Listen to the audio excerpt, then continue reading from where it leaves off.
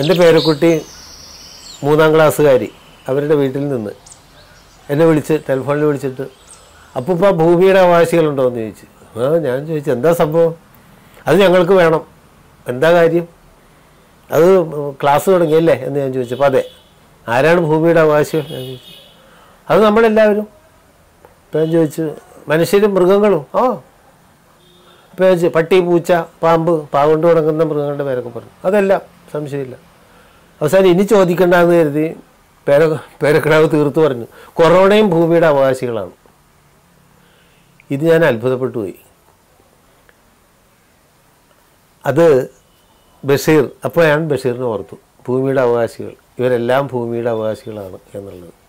അതിന്റെ കൂട്ടത്തിലാണ് കൊറോണയും എന്ന് കൊറോണയെ പേടിച്ച് അതിനെ അതിജീവിക്കാൻ എത്രയോ പാടുപെടുന്നു. അതിന്റെയൊക്കെ പശ്ചാത്തലം അതും അവകാശികളാണെന്ന് പറഞ്ഞു. സുനിൽ പി ഇളയുടെ ഒരു നിരീക്ഷണം നടത്തി. ഈ ഭൂലോകത്ത് ഇന്നേ വരെ ഉണ്ട് എന്ന് പറഞ്ഞിട്ടുള്ള കൊറോണയുടെ മുഴുവൻ തൂക്കം എടുത്തു കഴിഞ്ഞാൽ ഒന്നര ഗ്രാമേ വരുവുള്ളൂ.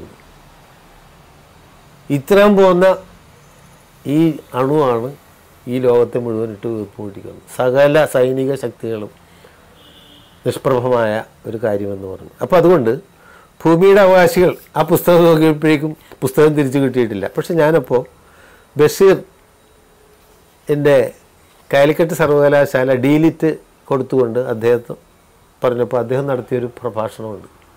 അത് പുസ്തകമായിട്ട് വന്ന് പുസ്തകം തന്നെ. ചെവി ഓർക്കുക അന്തിമ കാഹളം ഈ കൊറോണ വന്നു കഴിഞ്ഞപ്പോൾ ചിലർ പറയുന്നത് ഞാൻ കേൾക്കുകയുണ്ടായി. അതേ ബൈബിളിൽ പറഞ്ഞിട്ടുണ്ട് ലോകാവസാനം രണ്ടായിരം ചില്ലാനം കഴിയുമ്പോഴാണ്. ചില്ലാനം ഇപ്പോൾ രണ്ടായിരത്തി ഇരുപതായില്ല അപ്പോൾ അതായിരിക്കും. പക്ഷെ അതൊന്നുമല്ല. നമ്മൾ തിരിച്ചു വരുമെന്നുള്ള കാര്യത്തിൽ സംശയമില്ല. ഒരു പുതിയ ലോകം ഉണ്ടാവും പക്ഷെ ബഷീർ പറയുന്ന അതിന്റെയൊക്കെ അപ്പുറം. നാലാം ക്ലാസ്സിൽ നിന്ന് വന്ന് അപ്പന്റെ ബാപ്പയുടെ അടി കൊണ്ടിട്ട് സ്വാതന്ത്ര്യ സമരത്തിലേക്ക് നാടുവിട്ടു പോയി. ജീവിതാനുഭവങ്ങളുടെ അവിടെ തിരിച്ചു വന്ന് വന്ന മഹാസാഹിത്യകാരനാണ് ബഷീർ. അപ്പോൾ ബഷീർ തന്നെയാണ് എനിക്ക് പരിചയപ്പെടുത്താൻ തോന്നിയത്. അന്തിമ കാഹളത്തിൽ അദ്ദേഹം ആ പ്രഭാഷണം നടത്തുമ്പോൾ അദ്ദേഹത്തിന്റെ എല്ലാ രചനകളെക്കുറിച്ചും പ്രതിപാദിക്കുന്നുണ്ട്. അതുകൊണ്ടാണ് ഞാൻ നടത്തുന്നത്. അതിൽ അദ്ദേഹം നടത്തിയ ജീവിത യാത്രയെക്കുറിച്ചിട്ട് പറയുന്നുണ്ട്. സ്വാതന്ത്ര്യ സമര കഥയൊക്കെ പറഞ്ഞല്ലോ. ഭഗത് സിംഗിന്റെ ശൈലിയും മീശയൊക്കെ പിരിച്ചു നടന്നിരുന്നു. അത് കഴിഞ്ഞ് പിന്നീട് അദ്ദേഹം ഒത്തിരി ചെയ്യാത്ത പണികളില്ല.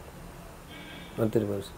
യാത്ര ചെയ്യാത്ത മേഖലകളില്ല. എല്ലാ രാജ്യത്തും പോയിട്ടുണ്ടെന്ന് പറയില്ല. പക്ഷേ അനുഭവങ്ങൾ. കപ്പൽ യാത്ര. സൂഫികളുടെയും യോഗികളുടെയും കൂടെ ഇരുന്ന് ധ്യാനിക്കുക. ഇതൊക്കെ ചെയ്തിട്ട് തിരിച്ചു മടങ്ങി നമ്മുടെ നാട്ടിൽ വന്ന് ബേപ്പൂർ സുൽത്താനായി തലയോൽപ്പറമ്പിൽ ജനിച്ച് ഭൂമിയുടെ ഒത്ത മധ്യമാണ് ഇതെന്നും പറഞ്ഞ് അദ്ദേഹം കഥകൾ എഴുതിയിട്ടുണ്ട്. ആ അദ്ദേഹം തലയോലപ്പറമ്പിൽ അല്ല ബേപ്പൂര് ബേപ്പൂർ സുൽത്താനായി വാണ് അവിടെ നിന്നാണ് അദ്ദേഹം അന്തരിക്കുന്നത്. അപ്പോൾ ഞാൻ അത് നോക്കുമ്പോൾ എനിക്ക് ഇരുപതാം നൂറ്റാണ്ടിന്റെ ഇപ്പോൾ നേരത്തെ ഇപ്പ വായനാ ദിനവുമായി ബന്ധപ്പെട്ട് പി എൻ പണിക്കരുടെ കാര്യം നമ്മൾ പറഞ്ഞു. ഇരുപതാം നൂറ്റാണ്ടിന്റെ സന്തതിയാണ്. തൊള്ളായിരത്തി അഞ്ച് ഇത്. ബഷീറിനെ കുറിച്ച് നോക്കുമ്പോൾ ഇരുപതാം നൂറ്റാണ്ടിന്റെ ആദ്യ ദശകത്തിൽ ജനിച്ച് അന്ത്യദശകം വരെ ജീവിച്ച് എൺപത്താറ് വയസ്സിലാണ് എൺപത്താറാം വയസ്സിലാണ് അന്തരിക്കുന്നത്. അപ്പോൾ ഒറ്റ നോക്കുമ്പോൾ ഇരുപതാം നൂറ്റാണ്ടിന്റെ ഒരു സംഭാവനയാണ് ഇന്ന് ഉള്ളത്. ഇരുപതാം നൂറ്റാണ്ട് മാത്രമെന്ന് പറഞ്ഞില്ല ഇരുപതാം നൂറ്റാണ്ടിൽ സംഭവിച്ചത് അതിനു മുമ്പ് എത്രയോ നൂറ്റാണ്ടുകൾ ഉണ്ടായതിനേക്കാൾ ഇരട്ടി വേഗതയിൽ അതിനേക്കാൾ അതിശയിക്കുന്ന വേഗതയിലാണ് മനുഷ്യ സമൂഹം പുരോഗമിച്ചത്. ഇനി തീർച്ചയായും ഇതേവരെയുള്ള സാങ്കേതിക വിദ്യയും ശാസ്ത്ര ഇതുമൊക്കെ ഇരുന്നുകൊണ്ട് തന്നെ ഇതിനേക്കാൾ ഇരട്ടി വേഗത്തിൽ മനുഷ്യന് പോകാൻ കഴിയും. മനു ഭൂമിയിലുള്ള വിഭവങ്ങൾ വെച്ചുകൊണ്ട് പട്ടിണിയും പരിവട്ടവും കൂടാതെ മുന്നിൽ മുൻപ് മനുഷ്യർക്കും കഴിയാൻ കഴിയും. ആ സന്ദേശമാണ് ചുരുക്കത്തിൽ ബഷീർ പറഞ്ഞു വെച്ചിട്ടുള്ളത്.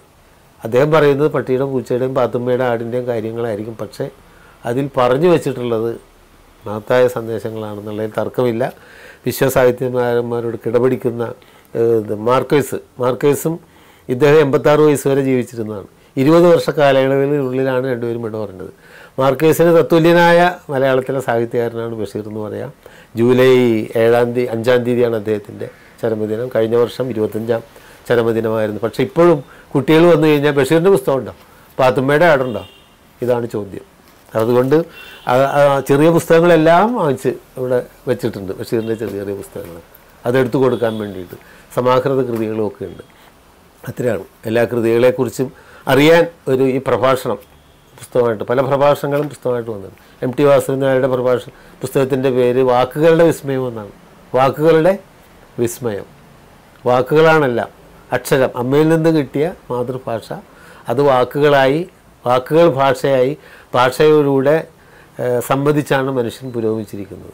ഇപ്പം മലയാളം പഠിപ്പിക്കാത്ത അതായി മലയാളികൾ മാറിയിട്ടുണ്ട്. അതിൽ നിന്ന് നാം തീർച്ചയായും തിരിച്ചു വരും. കാരണം ഇതരദേശ സംസ്ഥാന തൊഴിലാളികൾ നമ്മുടെ നാട്ടിൽ വന്ന് പണിയെടുത്തിട്ട് അവർ മലയാള ഭാഷ പഠിച്ച് നമ്മേക്കാൾ മിടുക്കന്മാരാകുന്ന ഒരു സാഹചര്യമുണ്ട് മലയാളികൾ. തീർച്ചയായിട്ടും ഇത് തിരിച്ചറിഞ്ഞ് മലയാളത്തിലേക്കും വായനയിലേക്കും പുസ്തകത്തിലേക്കും വരുമെന്നുള്ള കാര്യത്തിൽ ഞങ്ങൾക്ക് ലൈബ്രറി പ്രവർത്ത- പ്രവർത്തകർക്ക് സംശയമില്ല.